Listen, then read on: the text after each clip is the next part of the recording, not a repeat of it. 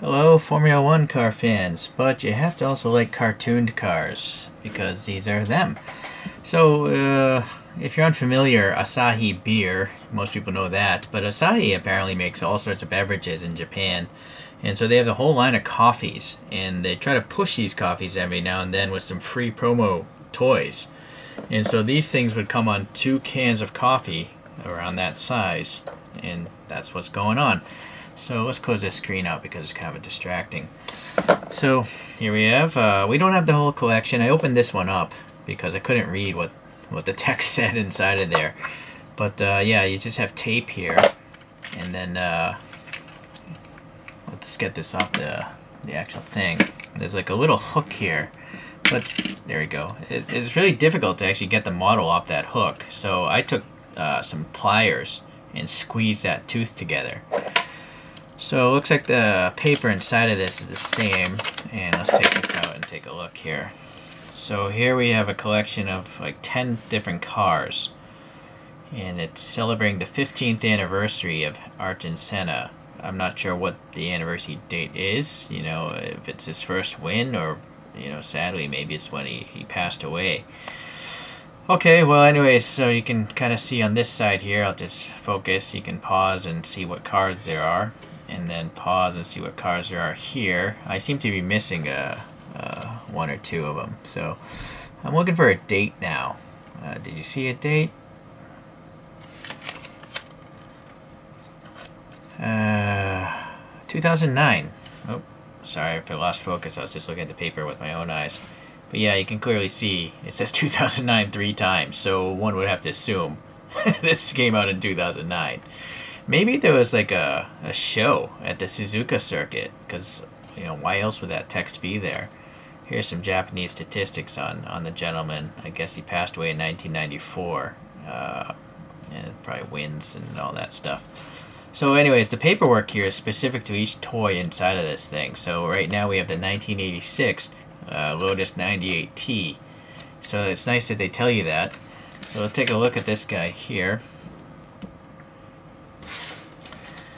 And you can see uh, it's got Eagle and Goodyear printed on there nicely. I gotta say that the tires are very flat sided. I mean they look like cookies, raw cookie dough or something, so that's not very good. These are pullback toys by the way, so those are rubber tires because it needs traction. It's probably a standard Choro-Q size uh, motor. And it looks like a screw is holding the front there, and then there's a tab back here holding the back. I do like that the tires are staggered in size like an F1 car. And Instituto Ayrton Senna, so there must be some sort of institute for the gentleman. Um, okay, uh, you can see it's got the John Player special livery there. It's got some sponsorship, number 12, uh, more sponsorship. Oh, maybe this is all of his championships here by this time. One, two, three, four, five, six, seven, seven. Anyways, unfortunately it doesn't tell you what the car is on the bottom, so I'm going to have to put some stickers on these things in a moment here. So we got this wing, it's really pretty thin actually for a toy. I mean this is a pullback toy that's probably going to hit walls, so I'm actually surprised that they have molded this thing so thin. But I like it. And it's nice that there's a helmet, and it actually has like a, a green stripe. And oh yeah, green and blue. I think that might, I don't know if that's a decal or paint. And I think it is paint because it's a toy. And it actually has his name there, and it's actually legible, so that's impressive. Anyways, Ayrton Senna is uh, Brazilian, I believe, and I think those are maybe the colors of Brazil. Correct me if I'm wrong, I might be wrong. Yeah, so maybe these are World Championship icons or something. This is a strut here. Alright, so, well, it's a very simple toy, right? So, but I do like that the gold pinstriping goes around here. It's it's well printed. You gotta remember, this thing was free. No one actually bought this thing except for me. uh, sadly, the wheels here, there's not, they're not passing air, but I think that has to do with the fact that this is a toy, and some kid literally might step on this thing, so... Okay, let's uh, get that one out. Let's look at the next one. Uh, and I didn't show you the back because I, I cut the other one. So it actually tells you on the packaging, you know, which which actual model you have. So the sticker is different. So this is an MP4 and all that stuff. And so that's very convenient, right? So you know what? Let me come back. I'm gonna cut all these things open, and then uh, I'm gonna take them out. Actually, or I'll actually show you. me opening up one up fresh here. Show you that tab and how difficult it is. So just take a little razor. Little hobby knife action there. Okay, so that's easy to open. It's this part that's difficult. I'm afraid I'm, I'm going to break the base, you know, because it's plastic. So I'm not sure why. I guess they had to make it firm enough that uh, shipping. Now also look, these are pretty small pliers. I can't get it underneath the plastic without fear of scratching it. So I'm gonna have to actually, uh, maybe it'll be easier if I clip it off. I'm get some of my cheap clippers here. I'm not gonna keep this packaging. And then yeah, you probably have to, uh, then I guess I could squeeze this. Yeah, see, so that's really strange. Well, again, it's probably because they're afraid of the car breaking loose during shipping, but honestly, if it's a free car, who's going to care, right? Alright, so it's all the same paperwork and all that stuff, so, so that's what it looks like. Alright, we might as well con continue finishing the review of this then, before I open all the other ones. So you'll see the sponsorship has changed. Uh, this has an Olympus camera on it, and it literally says John Player Special, which is great. That's a tobacco company. A lot of like model car companies censor tobacco, which is I think silly. I think it's just silly. Anyways, uh, maybe it's because Asahi's a beer company. They don't care. Okay, yeah, all the same nice gold printing is really nice. Yeah, and then you'll notice the mold is actually different. It's not the same mold. They literally molded a different car. This wing is different from the last one. It's still a single strut, but look at the uh, look at the side plates on the wing. Uh, top view. Let's see if the pods are different. Now the side pods look. Hold on. I gotta hit focus. I don't have three hands. Mm, the side pods look the same, but clearly the front wings are different. The front and rear wings are different. Uh, wonder if the no. I was gonna think maybe the they just changed the the bottom and the wing to make it different, but no. It looks like the front wing is molded as part of this body. The bottom piece looks the same, but anyways, it's literally a different mold. So pretty interesting. Okay, let me pause and come back with the other ones. Alright, I cut them open and actually labeled the bottoms. As I was looking at it, I realized they actually number them. So this is number two in the collection here. And it seems like I'm missing numbers three and 10. Hopefully one day I'll get them.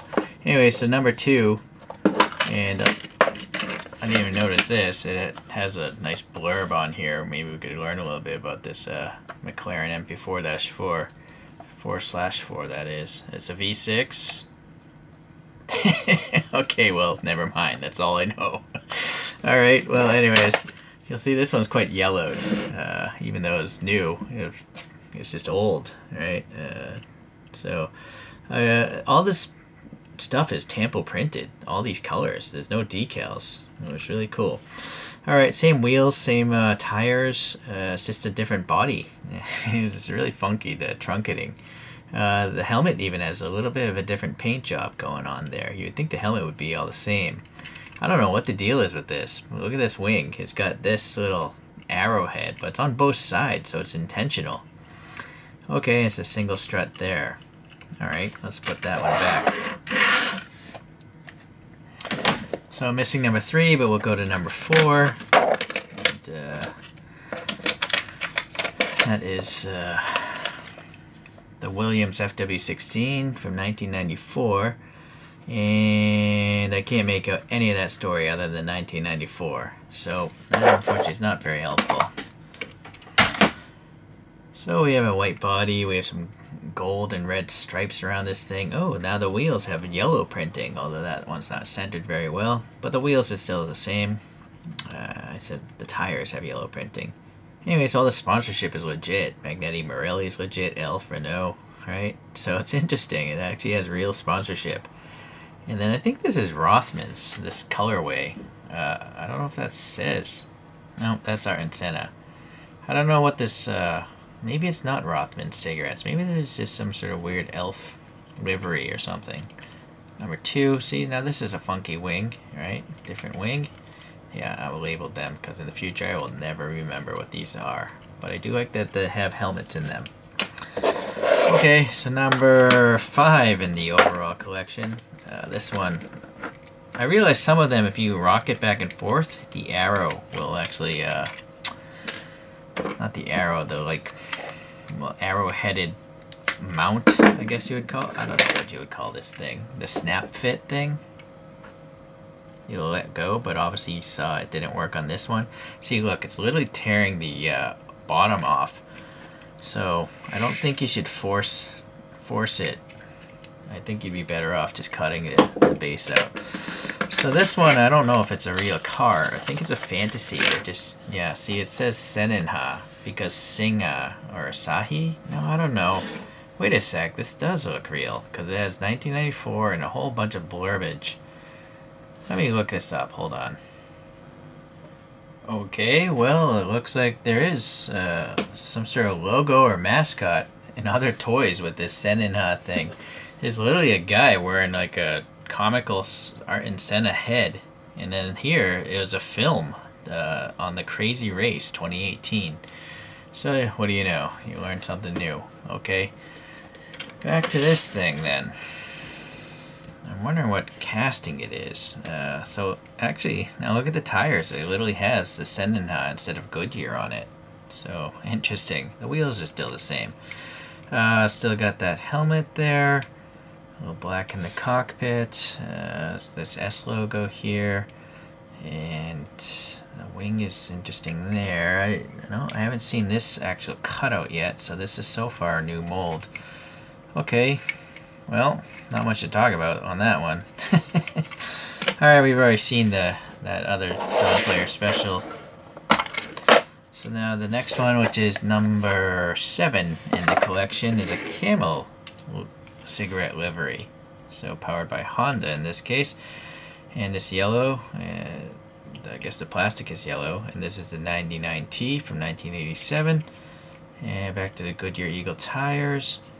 Right, pointy nose, same helmet it looks like, a little silver up here in the roll hoop, and uh, yeah, more complex looking wing. So, all right, well, that's that one. Let's get all this out of here.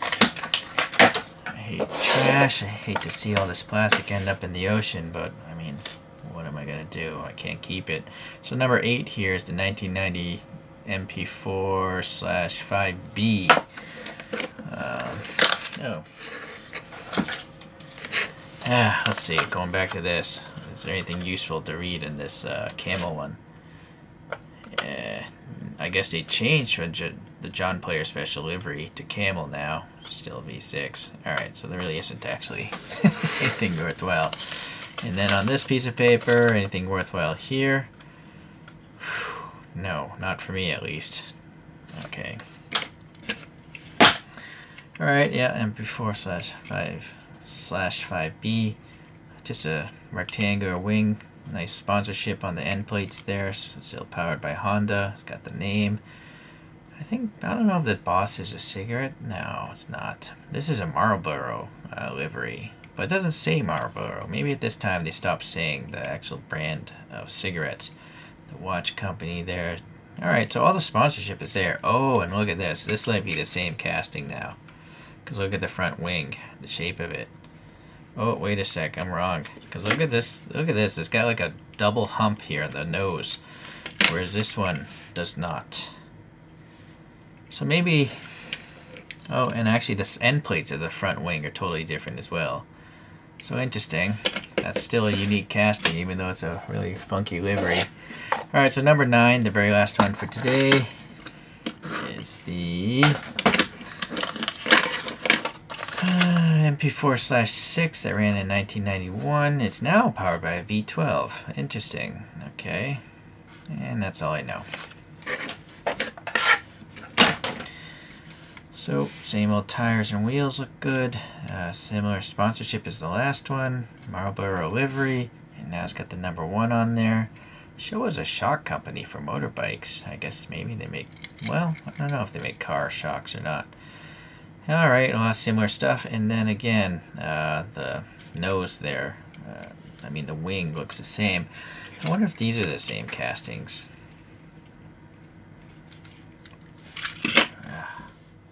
The front wing definitely looks the same. Uh, nope, the end plates are totally different again. So it's, it's different. it's it's pretty interesting that they went through all this trouble. Yeah, this wing, rear wing is totally different. It's got some crud on it though.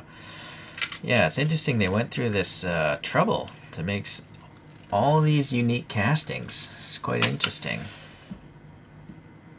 So before I get this thing spinning, I put them in chronological order, starting here in 1985, and the last real one is the 1996. But again, I'm missing two of them, and then this is a weird fantasy one. But here's a 164 scale Aoshima of an FW15C. So that's the 1993 Manufacturer's Championship car. And you can see the deformation. Uh, the tires are huge, the thing's shorter. It's around the same width though. Width-wise, it's around 164. So that's that one. And then I have a Kyosho of a McLaren MP4 slash 6, which is 91. Is it this one? No, this is a 1990, but it's the closest one to it.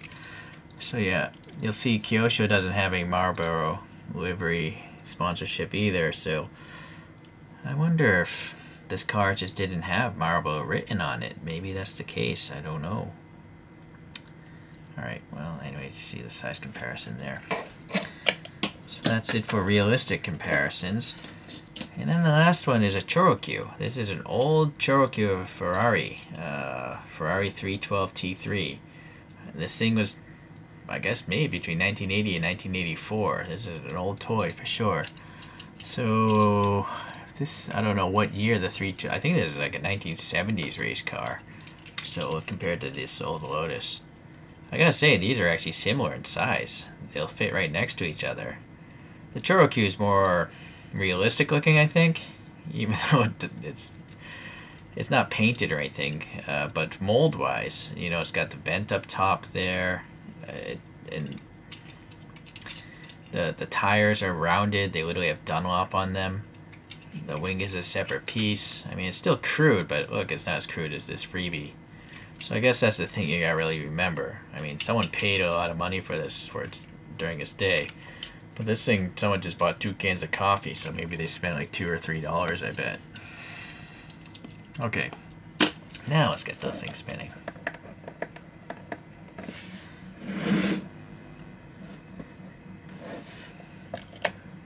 Alright, well, I'm not sure if I'll be lucky enough to ever track down the last two in this set, but I'm going to take a photograph of that piece of paper and just leave it in my phone. And uh, hopefully I'll find it at another used toy store where I got these. I do see these on eBay if you really love F1 and deformed vehicles. But I don't really even love F1. I just actually like tooned cars. so I'm kind of, you know, I, I have no desire to buy them off eBay because that place is expensive. Alright, well thank you for watching today, and uh, I guess I'll see you in the next deformed video. Bye.